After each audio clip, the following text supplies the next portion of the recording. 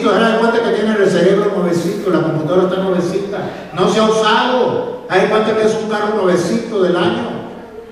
¿Por qué no vienes? Tienes la ventaja de que hay músicos que te pueden enseñar. ¿No quieres venir? ¿Tienes pastor? Está ahí, estoy yo. ¿No quieres venir?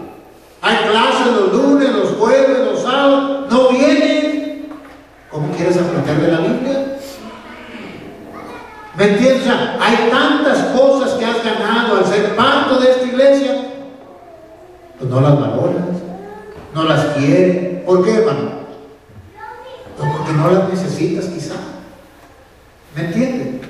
O sea, ¿qué más has ganado al venir a la iglesia? Una familia como un cuerpo en Cristo. ¿Qué más has ganado? Que tienes una iglesia donde puedes crecer en la música, en el conocimiento bíblico. ¿Qué más has ganado? De que tienes un pastor que estás en el hospital. Podemos ir al hospital si no va a ir yo o alguien más de la iglesia va. Se muere un familiar tuyo. Pues ahí vamos. Para apoyarte. Hay gente, hermana, hermana. Hay gente que no tiene ni un padre, ni un sacerdote o, ni un ministro para oficiar en un funeral o en una boda. En una quinceañera. Yo he tenido que ir a los salones de baile y hace mucho que no me invitan, hace años que no me invitan, pero había un familiar, de, me viene a mi mente ahorita un familiar, que las reglas de su iglesia no las cumplía y tenía los 15 años de su hija, pues quería que, un líder de una iglesia bendijera a su hija, porque las reglas de la iglesia de ellos, como no iban muy seguido, pues no calificaban para que el, el anciano de la iglesia, el pastor, el que sea, fuera a bendecir su hija. Y viene el, hermano de la iglesia de, de, de Dalton, de la iglesia bautista de Dalton, pastor, pasa esto, el pastor no está, dijo el pastor que sí, que sí va a ir, que yo voy, hombre, ¿dónde? Porque en el salón, yo voy y me meto al salón, hombre, ábreme la puerta ya. ¿Cuál es el problema? ¿Saben quién estaba ahí en ese salón de baile? Papá y mamá, padrinos y parientes y esto y un montón de gente. ¿Y saben qué hice yo? La Biblia dice Acuérdate, joven, de tu juventud. ¿A qué me invitaron, hermano? Pues hablar de la Biblia, hermano. Y entonces, ¿qué iba a hacer yo? No, ese es un lugar, es una cantina ahí, como yo, un pastor, un siervo de un santo, como yo me voy a meter ahí, ¿qué va a pensar la gente? ¿Qué van a pensar los miembros de mi, mi hermano? Me están abriendo la puerta para que les hable la palabra de Dios, mi hermano. Esa gente necesita la. ¿Usted cree que esa gente se va a olvidar de mí? ¿Usted cree que esa gente va a olvidar de esta iglesia? Ahí tienen las fotos. Ahí están las fotos. ¿Saben qué les dice?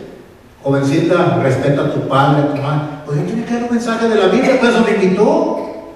Y si yo le puse a predicar la Biblia, ¿para dónde se van los ingratos? Que pues no tienen para dónde irse, pues para eso me invitaron. O sea, ¿entiendes, hermano? Tantos, tantos pastores santurrones, que presumen de una santidad que no pueden meterse en lugar. Hermano, la gente tiene hambre de la palabra de Dios. La gente necesita del amor de Dios. Tú has encontrado una iglesia, hermano, donde hay pastores que servimos a la comunidad.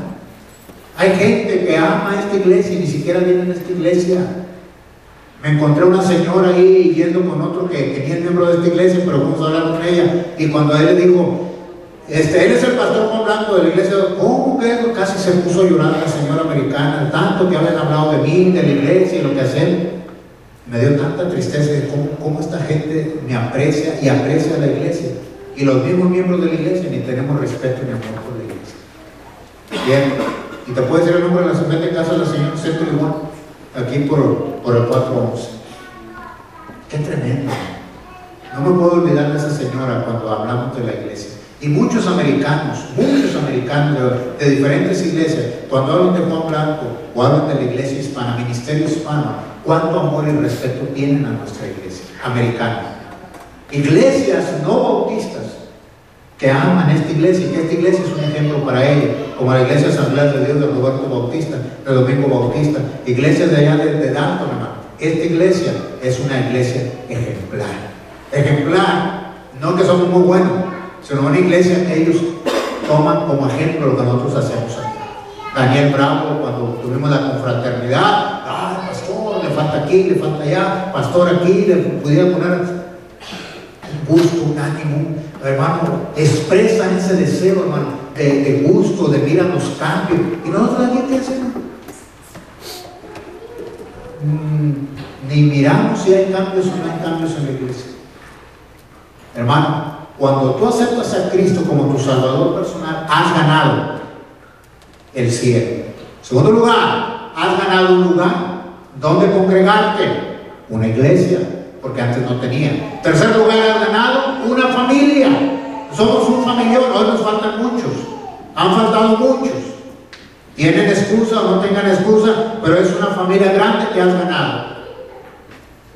Has ganado pastores, educación.